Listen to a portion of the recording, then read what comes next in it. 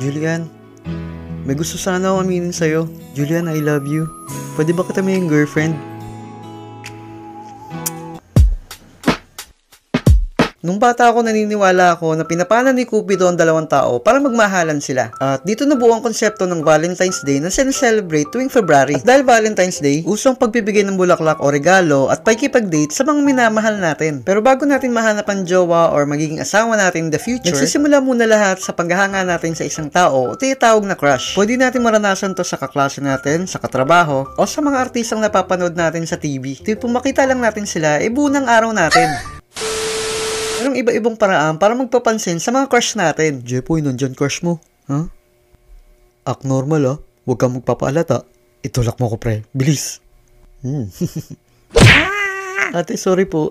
Kung kasi pre parang sira. Dapat pre, nilakasan mo pa.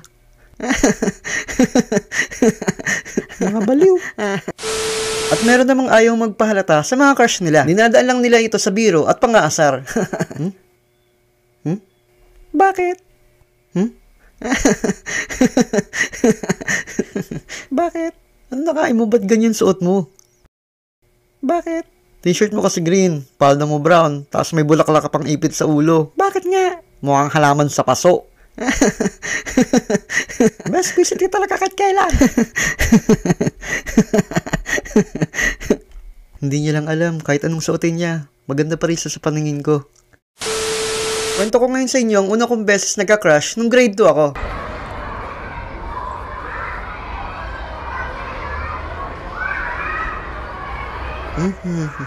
okay class, meron kayong bagong classmate. Transfer siya sa ibang school. Julian ang pangalan niya. Welcome natin si Julian. Anak, anong talent mo? Kanta po. Pwede mo ba kaming bigyan ng sample? Palakpakan natin si Julian. Kung alam ko lamang ako iyong iiwan. Ang ganda naman ng boses niya. Na ako hmm. nagmahal ng lubusan. Dahil tanging ikaw ang siyang lahat. Kung mawalay ka ng minsay, hindi ko matanggap. Mahusay. Palakpakan ulit natin si Julian. Jepoy, ba't parang namumula ka? Ha? Anong pinagsasabi mo dyan? Nag-drawing ako dito eh. At dahil bata pa ako noon, hindi ko masyadong maintindihan ang nararamdaman ko. Basta ang alam ko, nagustuhan ko yung boses ni Julian. May mga paraan para malaman namin ang mga crush namin nung elementary kami. Nauso ang slam book na may iba't ibang kulay at design na nabibili sa mga bookstores noon. Naglalaman ito ng mga tanong that requires basic information tungkol sa'yo at interesting questions para mas makilala namin ang mga classmate namin. At dahil medyo mahal ang slam book noon, nagsusulat na lang yung mga classmate ko ng mga tanong sa mga notebooks nila. Sa slam book, hindi mawawala yung mga ganitong tanong. What is love? Mm, love is like a rosary that's full of mystery. Ay, Haba, ito na lang. Love is blind. What is your motto in life? Hmm. Ah, ito na lang. Be happy. Siyempre, dapat lagi tayong masaya kahit may problema. Who is your crush? Ay, agoy. Hmm, ano to? Who is your first crush? Secret? Sino sa secret?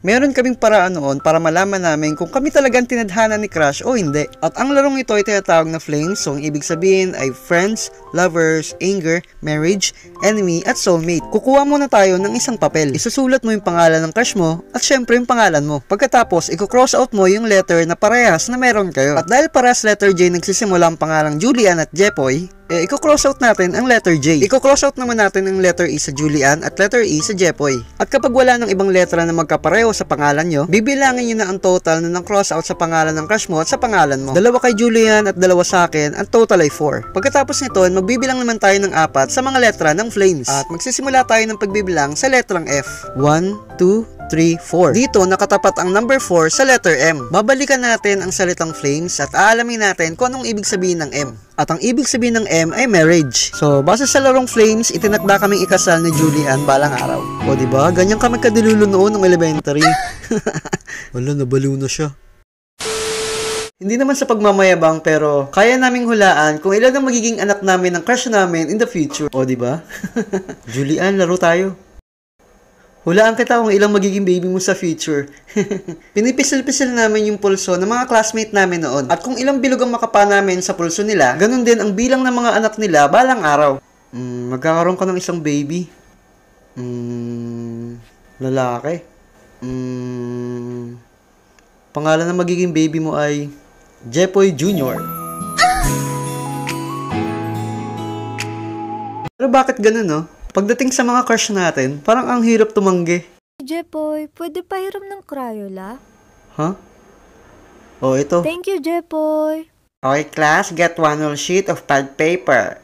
Jepoy, pwede pahingin ng papel? Basta para sa'yo, crush, nanginginig pa. Thank you, Jepoy.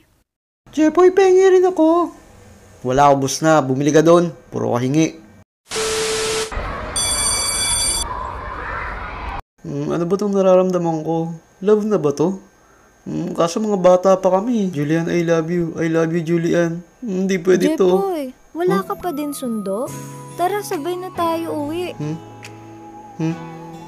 Ah, Julian, s- s- sige mauna ka na. Pa- pa- pa- parating na mama ko. D- d- dito kami magkikita sa waiting shed. Ah, sige, Jepoy, una na ako. Bye-bye. That time, nabubulol na talaga ako sobrang kaba. Nilapitan niya ako. Ewan ko ba.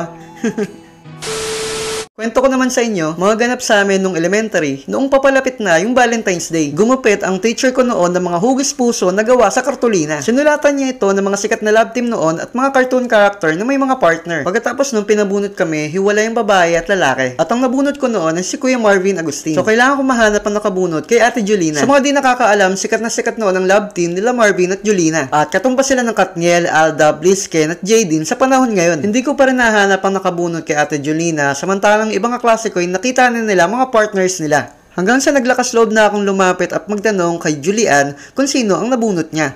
Ah, Julian, sinong nabunot mo? Jolina. Hmm, tayo pala magka-partner sa Valentine's Day. At dumating na nga ang araw ng Valentine's Day party namin nung elementary kami. Sobrang pinagandaan ko yung araw na yun. Siyempre, naligo ako para mas lalong mabango. Nagsuot din ako ng magandang damit na babagay sa Valentine's Day party namin.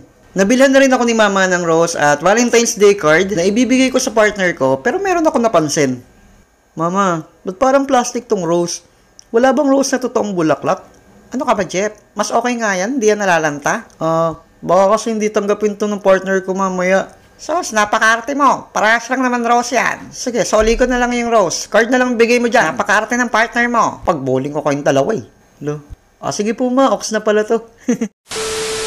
Pagdating ko sa school, eh nandun na yung mga classmate ko kasama ng mga partners nila. At nandun na rin si Julian na nakatayo sa waiting shed. Nakasuot din siyang pulang damit at nakalugay yung buhok niya. Mas lalo siyang gumanda nung nakalugay yung buhok niya. Nakatayo na rin yung stage kung saan gaganapin yung Valentine's party. Nandun na rin yung teacher namin na may hawak na megaphone. In fairness, bumata itsura niya na naka-civilian siya. Maya-maya pa, pinapila na kami sa harap ng stage at nagsimula na ng party. Siyempre, nasa unahan kami ng pila ni Julian kasi parehas kaming pinakamaliit sa klase. Para sa mga boys, lapitan niyo ng mga partners ninyo. Hmm? Lalapitan pa? Ba't parang bigla akong nahiya? Jepoy, anong iniintay mo? Pasko? Hmm, ito na po ma'am. Ibigay niyo na sa mga partners niyo ang mga bulaklak at Valentine's card na hawak ninyo. At patiin niyo sila ng Happy Valentine's Day. Hmm, nahiya ako. Happy Valentine's, Julian. Happy Valentine's din, Jepoy. Ngayon naman, humarap kayo sa mga partners ninyo. Sa mga girls, ipatong nyo kamay nyo sa magkabilang balikat ng partners nyo. Sa mga boys, hawakan nyo sa magkabilang bewang ang mga partners ninyo. Umpisa na natin ang sayawan. Nagsimula ng tumugtog ang love song at nagumpisa na kami sumayaw ni Julian ng sweet kahit medyo naiilang kami sa isa't isa. at yun ang pinakaunang Valentine's Day experience ko nung elementary kami. At yun ang pinaka-unforgettable experience ko sa Valentine's Day. Dahil nakasayaw ko noon yung crush ko sa school. May gusto sana ako aminin sa'yo.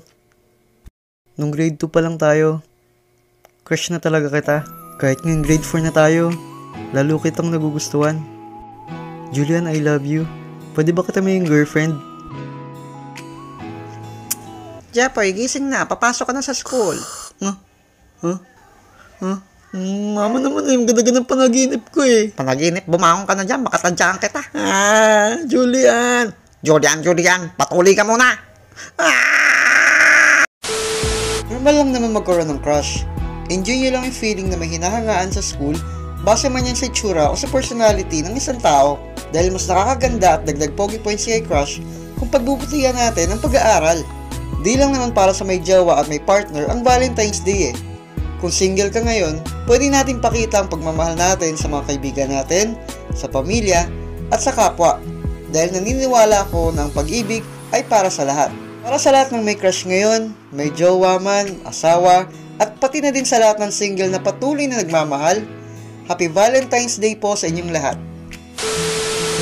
Gusto ko mag-thank you kay Missy Animation sa pagboses sa karakter ni Julian. Maraming maraming salamat sa collab. At Happy Valentine's din sa iyo, Michelle. Thank you. Please, supportahan niyo rin po yung channel ni Missy Animation. Maraming maraming salamat po.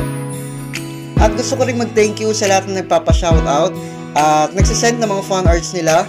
Maraming maraming salamat po sa suporta. At sa lahat ng mga naghihintay ng matagal sa animation ko, thank you, thank you so much po. Happy Valentine's Day po sa inyong lahat. Thank you. God bless. Bye-bye.